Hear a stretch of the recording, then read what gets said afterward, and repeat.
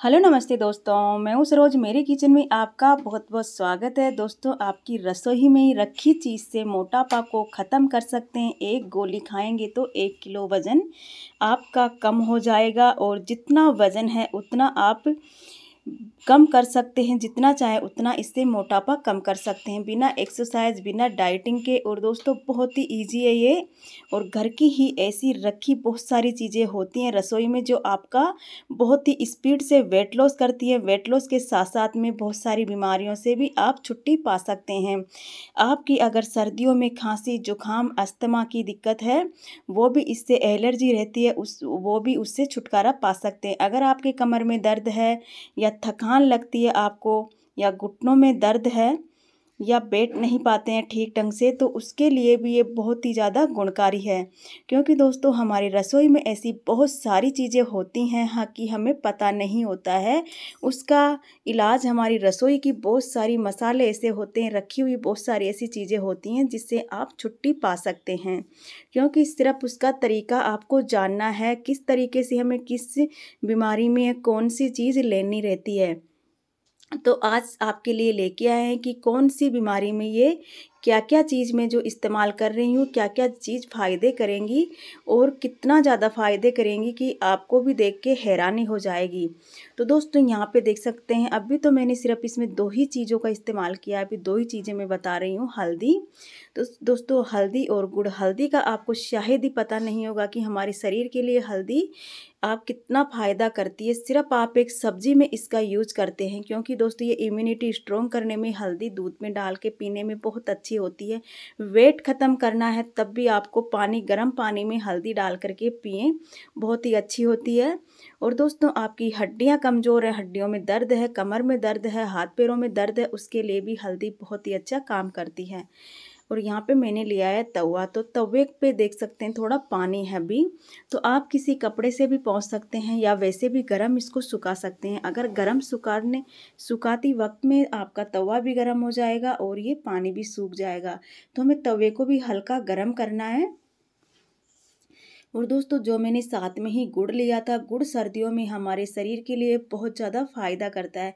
गुड़ से आपका वेट भी कम होगा और साथ में खून भी बढ़ेगा, खून साफ़ भी होगा और आपकी हड्डियाँ भी मज़बूत रहेंगी, चेहरे पे भी ग्लो रहेगा गुड़ से और आपका पेट भी साफ़ रहेगा क्योंकि पेट जैसी समस्या भी गुड़ से ख़त्म हो जाती हैं।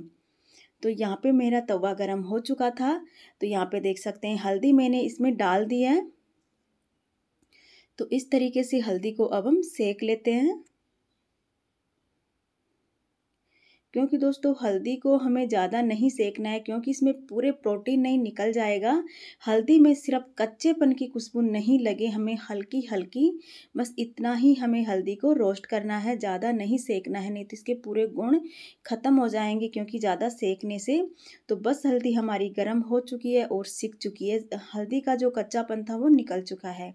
हमें ज़्यादा टाइम के लिए हल्दी को नहीं पकाना है। तो इस टाइम में मैंने गैस को बंद कर दिया है। तो यहाँ पे देख सकते हैं गैस हमारी बंद है तो इसको इसमें थोड़ी देर के लिए रखने, रखे, इसी तरीके से इसको चलाएँगे ताकि नीचे से जले नहीं और ये बिल्कुल ठंडी हो जाए। तो दोस्तों यहाँ पे मैंने लिया है अदरक। तो अदरक हमारी सर्दी, खांसी जुखान में भी फ़ायदा करती है। यहाँ पे मैंने काली मिर्ची ली है, लौंग ली है। ये हमारा वेट भी कम करती है, दालचीनी ली है। दालचीनी से भी बहुत स्पीड से वेट कम होगा और आपकी सर्दियों में खांसी कप जुखाम, सर्दियाँ, सर्दियों से भी बचा करके रखेंगी ये चीज़ें। क्योंकि दोस्तों, अगर आपको अस्थमा की दिक्कत है, तब भी आप ले सकते हैं। सर्दी, खांसी, जुकाम है, तब भी ले सकते हैं। अगर आपको खांसी नहीं जा पा रही है, खांसी है और गले में आपको खरास है और गले में आपको छाती में कप है, तब भी इन चीज़ों को ले सकते हैं। अगर सबसे मेन आप वेट से परेशान हैं तो आप इसको ज़रूर लीजिए, क्योंकि ये वेट तो बहुत ही स्पीड से ख़त्म करेगी। क्योंकि दोस्तों, पेट की हर समस्या को ये ख़त्म हो जाएगी। तो आपका वेट वैसे ही ख़त्म हो जाएगा। कूटना इसको बिल्कुल बारीक है। अदरक हमारा खून भी साफ़ करती है और खून भी पतला करती है तो इससे हमारी बहुत सारी बीमारियाँ भी नहीं हो पाती हैं तो इस तरीके से हमें इसको पीसना है। तो मैंने इसको बिल्कुल बारीक पीस लिया था, हल्दी हमारी ठंडी हो चुकी है तो मैंने एक बड़े बाउल में इसको निकाल लिया है और जो मैंने पिसी हुई चीज़ है, सब इसमें डाल दिया तो यहाँ पे देख सकते हैं, सभी चीज़ें मैंने इसमें डाल दी हैं। तो अब हम लेते हैं गुड़। गुड़ हमारे शरीर के लिए सर्दियों में बहुत ही अच्छा होता है, बहुत ज़्यादा फ़ायदा करता है गुड़। तो आपको इस तरीके से अगर बारीक करना है तो आप कद्दू कस करके भी डाल सकते हैं। अगर आपके से कद्दू कस नहीं हो पा रहा है तो आप इसको कूट करके भी डाल सकते हैं। तो अब इसको हम कूट करके डालेंगे क्योंकि दोस्तों कूटने से भी ये बिल्कुल बारीक हो जाता है। तो यहाँ पे देख सकते हैं, इस तरीके से हम इसको बिल्कुल बारीक पीस लेते हैं, कूट लेते हैं। तो अब इसको हम डाल देते हैं और इसकी कोई हमें चाशनी नहीं बनाना है। अगर आपको बच्चे की दिक्कत है थोड़ा सा बड़ा है बच्चा, उसको दिक्कत है खांसी, जुकाम, सर्दी की तो उसमें भी आप इसको दे सकते हैं। क्योंकि इससे इम्यूनिटी भी स्ट्रॉन्ग रहेगी और सर्दी, जुकाम भी नहीं लगेगी और अंदर बॉडी के अंदर गर्मी भी रहेगी क्योंकि ये बहुत ज़्यादा फ़ायदा करेगा।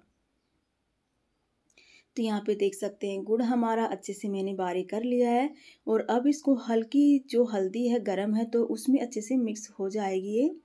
तो अब इसको हमें अच्छे से मिक्स करना है और इसको मिला लेना है, क्योंकि ये बहुत ही अच्छे से मिक्स हो जाएगी, क्योंकि ये अभी गर्म है, ठंडी नहीं है। क्योंकि इसमें गुड़ की अगर थोड़ी सी गांठ भी है तो कोई दिक्कत नहीं है, वो खाने में अच्छे से चप जाती हैं तो अच्छा भी लगता है। तो पूरी तरीके से इसको हम मिक्स कर लेते हैं और इसकी इस तरीके से गोली बना लेते हैं। छोटी छोटी हमें बॉल बनानी है इसकी। अगर आप एक बॉल को सर्दियों में खा लेंगे तो आपको खुद को ही रिज़ल्ट मिल जाएगा कि किस तरीके से हमारी बॉडी में ये कितना ज़्यादा फ़ायदा करती है। क्योंकि दोस्तों, सर्दियों में आप हल्दी के लड्डू भी खाते हैं, पर घी में खाते हैं। घी में वो वेट आपका बढ़ता है।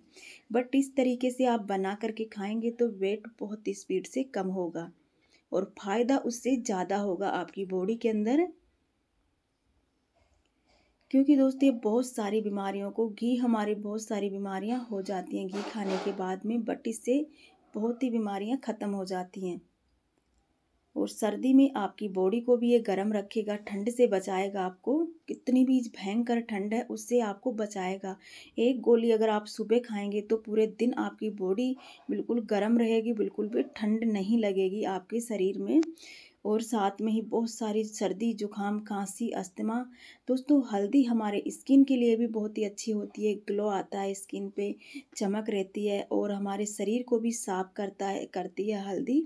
तो इस तरीके से आपको एक एक गोली सुबह खाना है। रात में सोते वक्त और सुबह खाली पेट खाना है दोस्तों। अगर ज़्यादा भी नहीं खाना है, क्योंकि थोड़ा सा गर्म रहेंगी, बट ये सर्दी में तो गर्मी के लिए ही बहुत ही अच्छी हैं। तो दोस्तों पूरी जानकारी मैंने डिस्क्रिप्शन में लिख रखी है, वहाँ जा के भी पूरी जानकारी देख सकते हैं। तो दोस्तों आज के लिए इतना ही। Thank you